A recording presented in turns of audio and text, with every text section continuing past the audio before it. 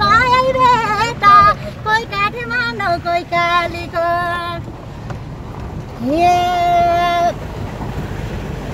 हामी अहिले चाहिँ राजकोट जाँदैछौँ।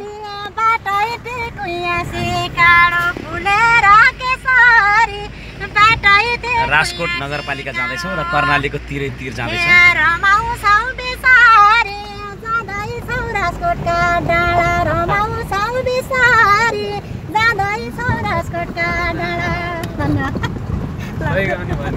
जाँदैछौँ।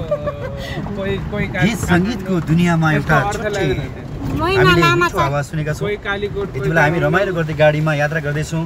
राजकोट जाँदैछौँ कालीकोटको एउटा एउटा सुन्दर सहरमा। यो भिरको बाटो पहाडी एरिया। एकदमै रमाइलो ठाउँ। कर्णालीको छेउ छेउ किनारै किनार हामी केदारजीसँग छौँ। माग्ने कुरा गरेर हामी उसँग छौँ र पुष्कर शर्मा पनि थ्याङ्क यू भेरी मच सबैलाई। हाम्रो भिडियो हेरिदिनु भएको छ माया गरिदिनु भएको छ धेरै धेरै धन्यवाद दिन चाहन्छु।